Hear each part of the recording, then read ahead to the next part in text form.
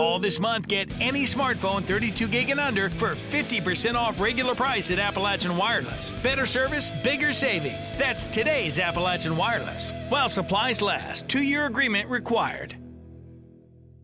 By a unanimous vote, the Jenkins City Council approved the second reading of the city's packaged alcohol sales ordinance Monday evening. That means packaged alcohol sales, including Sunday sales, could begin soon in the city. City residents voted largely in favor of packaged alcohol sales last summer. Mayor Todd DePriest said public sentiment has largely been favorable toward the sale of alcohol in the city. He said the alcohol sales will ultimately benefit the city by promoting growth as well as helping fund the city's police department. We're trying to relieve some uh, stress we have, I guess, in the general fund. You know, one thing being the police department, it, it's hard to fund the police department. There's no revenue created by a police force. Uh, water, sewer, garbage, and those things all have revenue streams coming in that, that help support it. And uh, we're hoping to free up some money in the general fund and uh, be able to pay our policemen and, and uh, possibly hire another one in the near future, depending on how the, the revenue comes in.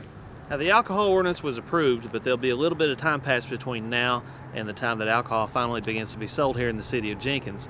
Any business wishing to sell alcohol here in the city will have to apply with the city and with the state.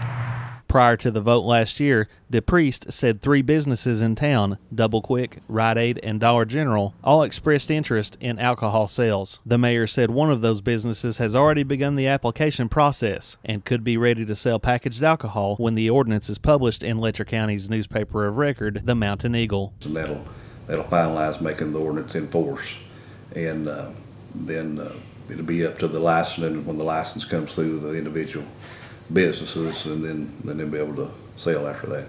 The Jenkins alcohol ordinance is expected to be published in the Mountain Eagle either this week or next week.